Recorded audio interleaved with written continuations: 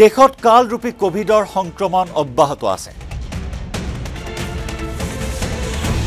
কভিডৰ sub variant J N ওৱানৰো সংহাৰ আৰম্ভ হৈছে সমগ্ৰ দেশত।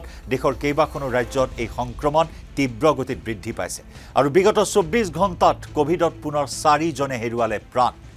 আনহাতে বিগত চৌব্বিছ ঘণ্টাত আক্ৰান্ত হৈছে নতুনকৈ ছশ ছাপন্নগৰাকী ৰোগী। বিগত চৌব্বিছ ঘণ্টাত চাৰিজনৰ মৃত্যুক লৈ এই পৰ্যন্ত কভিডৰ চলিত ঢৌত প্ৰাণ হেৰুৱালে চৌব্বিছগৰাকীকৈ কভিড আক্ৰান্তই।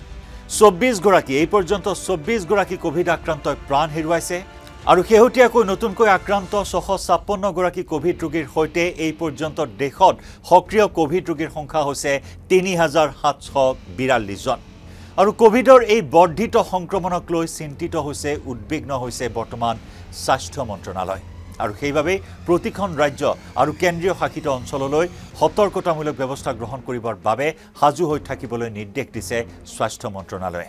যোৱা বিছ ডিচেম্বৰতো এই সন্দৰ্ভত এক গুৰুত্বপূৰ্ণ বৈঠক মিলিত হৈছিল কেনেদৰে কভিডৰ এই নতুন ঢৌক মোকাবিলা কৰিব পাৰি সেই সন্দৰ্ভত কেন্দ্ৰীয় স্বাস্থ্যমন্ত্ৰীগৰাকীয়ে বৈঠকত মিলিত হৈছিল। আনহাতে সমগ্ৰ দেশৰ ভিতৰত কেৰালাত সৰ্বাধিক সংক্ৰমণৰ হাৰ ক্ৰমাৎ ঊৰ্ধমুখী হৈছে কেৰালাত কভিড আক্ৰান্তৰ হাৰ। আনহাতে বিগত চৌব্বিছ ঘণ্টাত কেৰালাত এশ আঠাইছজন নতুনকৈ আক্ৰান্ত হৈছে কভিড নাইণ্টিনত।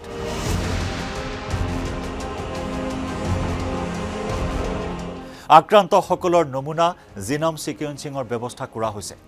আক্ৰান্তসকল কভিডৰ এই নতুন variant sub variant J N ওৱানত আক্ৰান্ত হৈছে নে নাই তাৰো পৰীক্ষা কৰা হৈছে। জ্বৰ চৰ্দি কাহ গাৰ বিষ ইত্যাদিয়ে হৈছে জে এন ওৱানৰ লক্ষণ। কিন্তু এই পৰ্যন্ত জে এন ওৱানত আক্ৰান্তসকলক হাস্পতালত ভৰ্তি কৰিবলগীয়া হোৱা নাই। হোম আইচলেশ্যনতে আছে জে এন ওৱানত আক্ৰান্ত ৰোগীসকল। কিন্তু মৃত্যুৰ সংখ্যা দিনক দিনে বৃদ্ধি পাইছে। আক্ৰান্তৰ পৰিসংখ্যা দিনক দিনে বৃদ্ধি পোৱাত সমগ্ৰ দেশবাসী কভিডৰ এই নতুন ভেৰিয়েণ্টক লৈ আতংকিত হৈছে।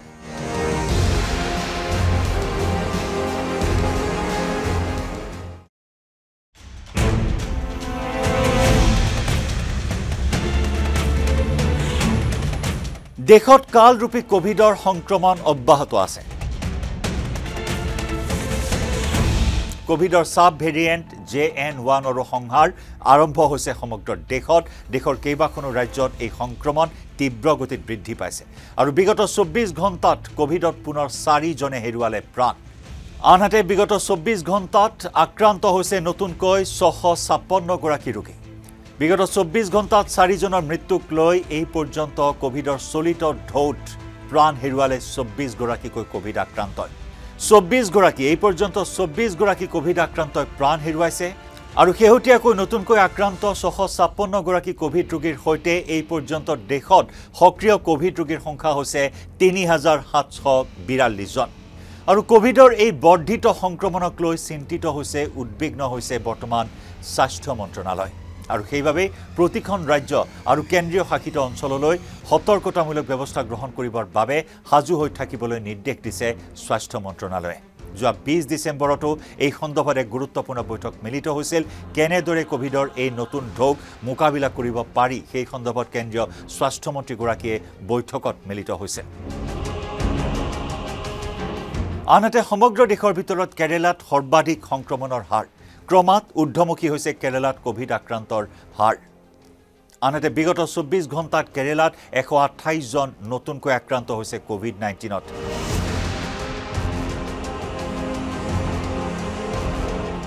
আক্ৰান্তসকলৰ নমুনা জিনম ছিকুৱেঞ্চিঙৰ ব্যৱস্থা কৰা হৈছে। আক্ৰান্তসকল কভিডৰ এই নতুন variant sub variant J N ওৱানত আক্ৰান্ত হৈছে নে নাই তাৰো পৰীক্ষা কৰা হৈছে। জ্বৰ চৰ্দি কাহ গাৰ বিষ ইত্যাদিয়ে হৈছে জে এন ওৱানৰ লক্ষণ। কিন্তু এই পৰ্যন্ত জে এন ওৱানত আক্ৰান্তসকলক হাস্পতালত ভৰ্তি কৰিবলগীয়া হোৱা নাই।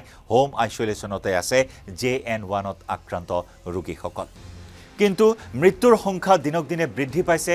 আক্ৰান্তৰ পৰিসংখ্যা দিনক দিনে বৃদ্ধি পোৱাত সমগ্ৰ দেশবাসী কভিডৰ এই নতুন ভেৰিয়েণ্টক লৈ আতংকিত হৈছে।